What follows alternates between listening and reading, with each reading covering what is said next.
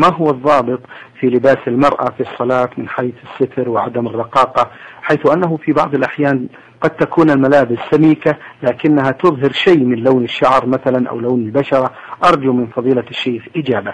العلماء يقولون إن ثوب الساتر هو الذي لا يرى من ورائه لون الجلد. وأما ظل الجلد يعني أن يرى الإنسان ظل الأعضاء من وراء الأكمام فإن ذلك لا يمنع لكنه فيه نقص. فالثياب ثلاثة أقسام قسم سميك لا يرى منه ظل العضو ولا لون البشرة. فهذا أفضل ما يكون من من الثياب وقسم آخر يرى منه لون البشرة فهذا لا يجزي ولا يكون وليس بساتر.